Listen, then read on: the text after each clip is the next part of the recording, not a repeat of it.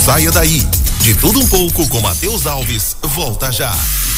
Manhã de sábado. As notícias do seu dia a dia. As comunidades rurais em destaque. As notícias de sua comunidade. Manhã de sábado. Apresentação: Daniel Araújo. Oferecimento.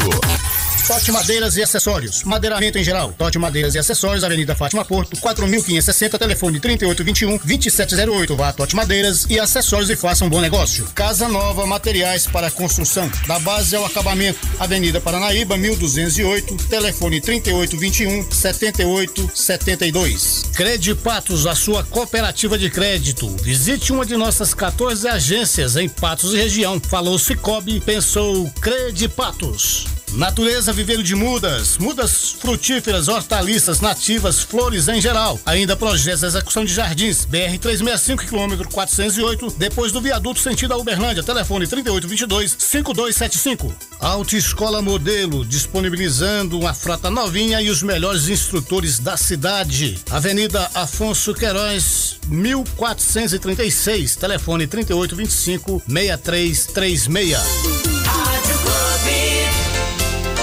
Classificados Tintim, 30 anos criando oportunidades de bons negócios. Você que está sintonizado, ó, eu vou te dar a oportunidade de, de conseguir uma grana extra, viu? Sabe aquela bike, aquela geladeira, aquela TV? Você que está precisando vender seu carro ou alugar a sua casa, precisa arrumar um emprego? Faça seu anúncio nos Classificados Tintim, sua melhor oportunidade para conseguir uma grana extra. Os Classificados Tintim não possuem Facebook nem grupos de WhatsApp, tá? São todos falsos. Só tem o site classificadostintim.com com.br Classificados Tintim anunciou vendeu. 30 anos fazendo a diferença e ajudando você a realizar bons negócios. Vender e comprar com toda segurança, é claro, só nos Classificados Tintim, que está apto a publicar qualquer tipo de edital. Lembrando que amanhã, amanhã é o último dia para anunciar na edição dos Classificados Tintim desta quarta-feira, então não vá perder.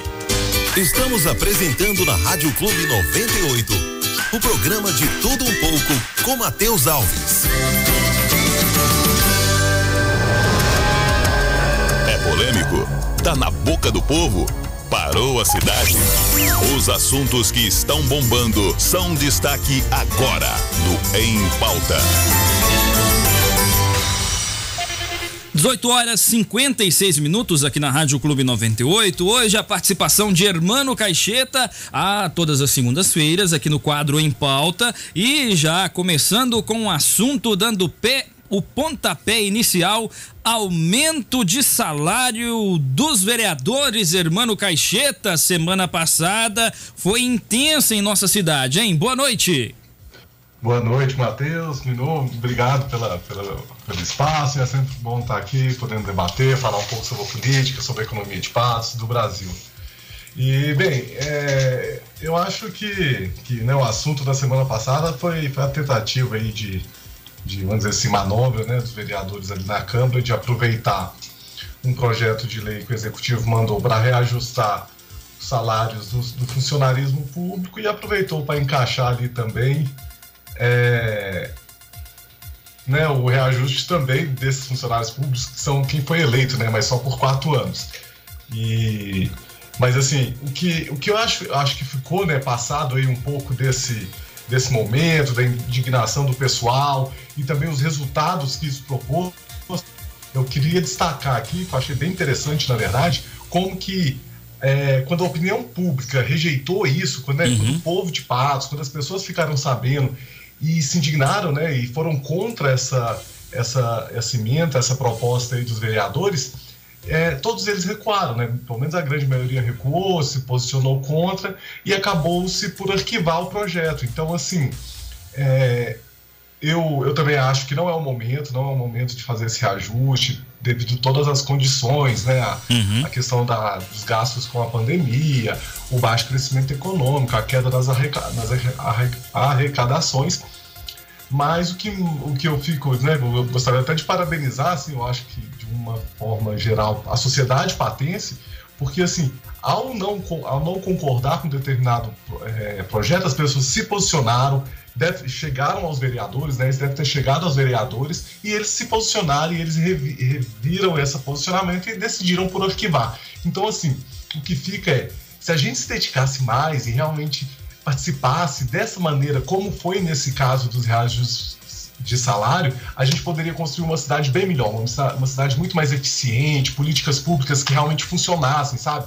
Um dinheiro bem gasto, porque as pessoas estiver, estão participando, sabe? Orientando, inclusive, os vereadores, orientando que, o que é prioridade, guiando eles, né? Sendo, é, levando para eles essas informações, esses posicionamentos, para que eles não tomem aí as decisões a reveria. Então, acho que assim, que é um eu acho que a gente tem que tirar né, o episódio ali da semana passada como muito aprendizado, sabe? De quando a gente se posiciona, se nós, como público, né, como sociedade, como povo, quer participar das decisões do nosso dinheiro, que é um dinheiro público, que é o dinheiro de todo mundo, a gente tem que fazer isso. Tem que estar tá, é, conversando com os vereadores, aqueles, né, os eleitos, procurando, colocando o seu posicionamento, as, os seus, né, o seu, o seu interesse, a sua visão para determinados projetos, para que eles capitalizem isso e levem né, essa, essa vontade do povo para a Câmara de Vereadores. Uhum. Irmão, um outro assunto para a gente poder abordar também uh, é um programa de auxílio uh, de empréstimos subsidiados pela Prefeitura de Alfenas. Esse programa que contou com a sua elaboração, ó, que contou com a sua coparticipação, com a sua participação, né? Uh, na elaboração desse projeto, em torno de 15 mil reais. Como que esse projeto poderia ser adaptado a Patos de Minas? Pois é, é bem, Matheus. É assim, quando eu, eu, me decidi, ano passado, né, quase um ano atrás, me candidatar participar de uma pré-campanha, depois de uma campanha à Prefeitura de Patos, eu estudei bastante, né, me preparei bastante, fui analisar propostas, né, o que, que tem é, na academia, o que tem de pesquisa, o que é mais eficiente para determinados níveis de município. E uma das principais propostas que a gente procurou, né, era a questão do crédito, porque assim, a gente sabe que quanto menor é o comerciante, menos acesso ele tem ao crédito, porque assim, a, a concessão de crédito pelos bancos funciona para a empresa um pouco como funciona também para a pessoa física, né? Quanto mais tempo de conta você tem, quanto mais você movimenta de dinheiro naquela conta, quanto mais patrimônio você tem declarado e que e que, e que constrói esse histórico dentro do, do sistema financeiro é o quanto eles te concedem de crédito e isso também o valor dos juros que eles vão cobrar por esse crédito.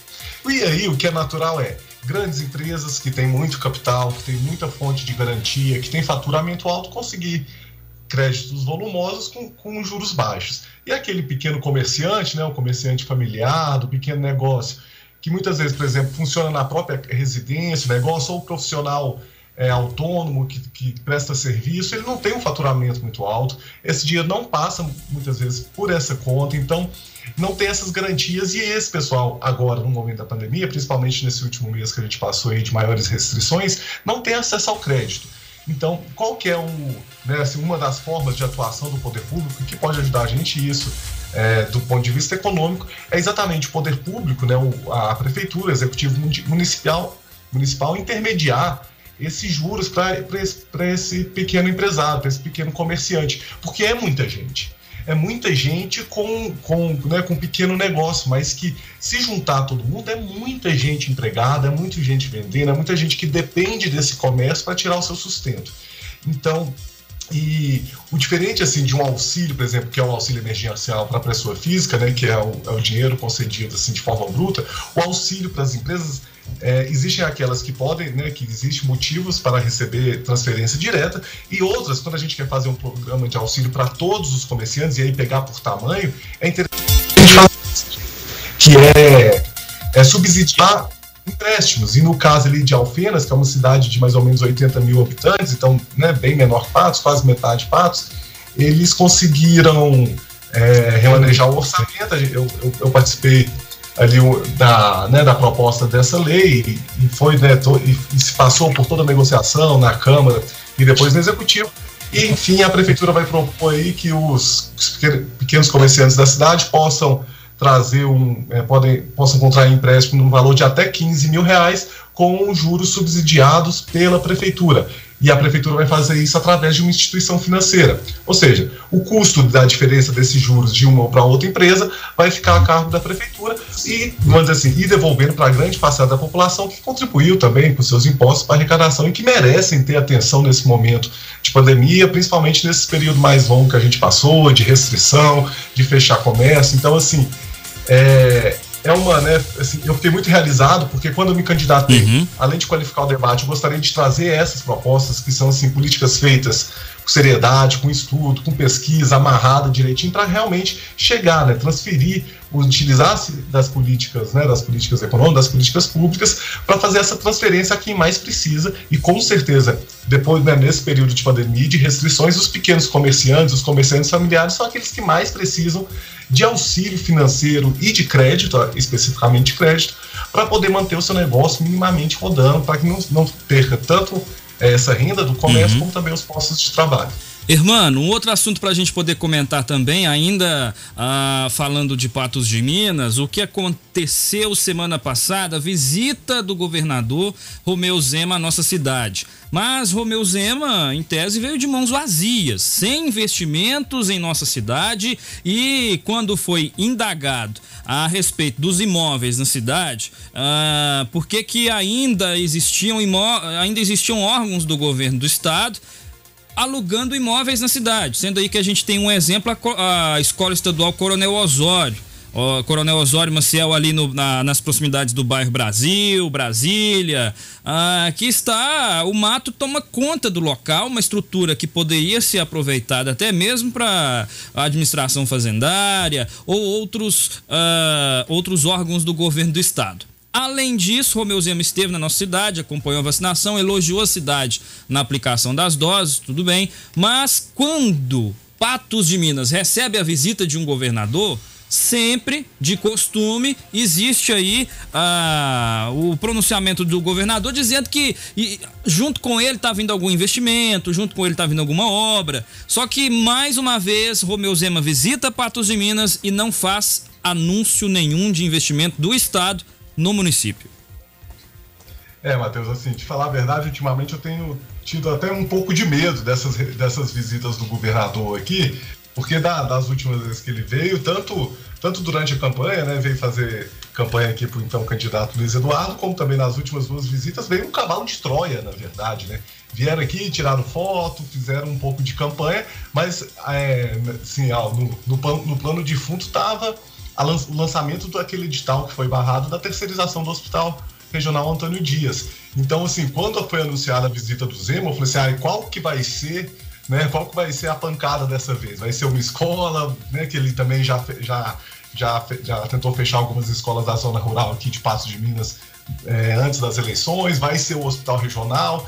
Então, assim, o que era em algum tempo motivo para comemorar, igual você falou, né? Vem o governador, vem alguma verba, vem algum projeto, vem alguma coisa. Ultimamente vem um governador, a gente fica com receio de que qual serviço público, qual qual, qual direito que a gente vai estar tá, vai tá em risco.